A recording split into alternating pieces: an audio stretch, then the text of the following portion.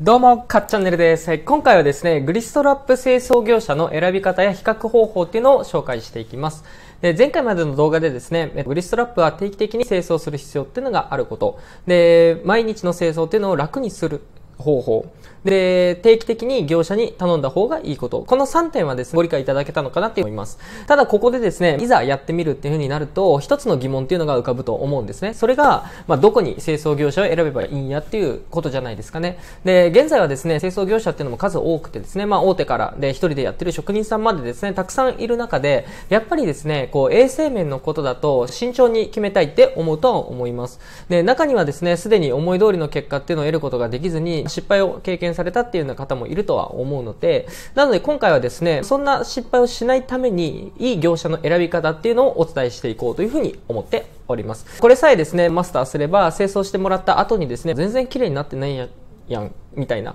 で、なんか割高だな、などのこう失敗がですね、ぐっと減ると思いますので、ぜひ参考にしてみてください。では、早速見ていきましょう。まず一つ目はですね、産業廃棄物管理表っていうのを発行してくれるところっていうのを選んでください。産業廃棄物管理表っていうのはですね、マニフェストのことなんですけれども、産業廃棄物を処理する際には、マニフェストトっていうのをま発行してで5年間保存しておくっていう、まあ、決まりになってるんですね。前回の動画でもお伝えをしましたしご存知の方も多いとは思うんですけれどもグリストラップから出るおでっていうのは産業廃棄物の区分になるので一般ゴミと一緒に廃棄すると違法になります。なのでグリストラップ清掃業者を選ぶ際はこの産業廃棄物管理表っていうのを発行してくれるかどうかっていったところをぜひ確認をしてみてください。次2つ目のポイントとしてはですね依頼する業者に実績があるかどうかっていうのも重要になってきます。実績の少ない業者にですね、仕事を任せるっていうのは不安なんですけれども、まあすでにですね、何百件、何千件もの仕事をこなしている業者なら、やっぱり安心できますよね。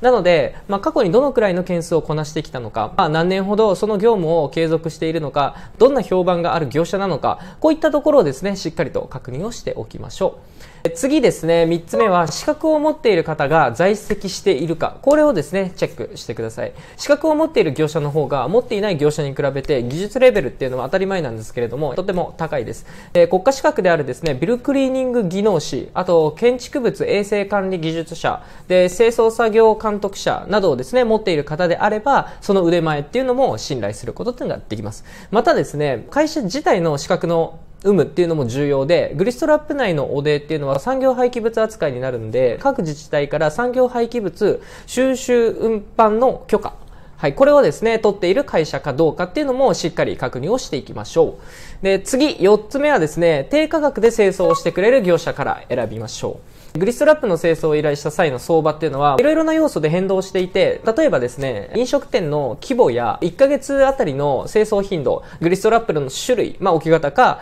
まあ差型かとか、サイズがどの程度かにもよるんですけれども、大体ですね、7000円から3万円程度が相場です。で、配管がおでや油汚れなどで完全に詰まりきった場合っていうのは、高圧洗浄車による静管や配管の交換っていった対応っていうのが必要になるんですけれども、その場合場合はですね、当然なんですけれども、清掃料金っていうのも高額になってしまいます。料金を安く済ませたいのなら、低価格でかつ丁寧な清掃をしてくれる業者っていうのを選び、月1回程度のあの頻度で、こまめに清掃してもらって、日頃からですね、グリストラップを清潔に保つことを心がけることが長期的に見たらコストカットにつながっていくので、頻度を上げつつ価格を抑えつつってことをですね、ぜひやっていってください。価格の交渉の仕方がよくわからないっていう方はですね、相談に乗りますので、概要欄からですね、LINE 登録のの上お気軽にご相談ください。最後ですね、5つ目。これはですね、しっかりと口コミでリサーチをしておくといいです。清掃を依頼する前にですね、業者の情報っていうのを検索をして、口コミで見るポイントとしてはですね、料金が、えーと、適切かどうか、資格を持っている方が在籍をしているか、実績はどの程度ある業者なのか、どのくらいの頻度で仕事を受けてくれるのか、グリストラップのサイズごとの料金っていくらか、まあ、こういったところをです、ぜひ見ていってください。以上がですね、見るべきポイント5選でした。で、本日お伝えしたポイントをですね、しっかりとこう押さえて良さそうな業者なら、まあ、ぜひですね、こう連絡を取って、設備の下見っていうのをしてもらってください。で、そこからですね、具体的な金額の提示っていうのをしてもらえると思います。で、次回ですね、今回の内容を踏まえて、おすすめの業者っていうのを今までの経験を踏まえてですね、まあ、紹介をしようと思ってるんですけれども、地域によってはですね、依頼できない方っていうのもいらっしゃると思いますので、そういう場合はですね、今回の内容っていうのを参考に見てもらえるとすごく嬉しいなと思います。次回はですね、おすすめの会社5選、ですので、お楽しみにしていてください。それではまた。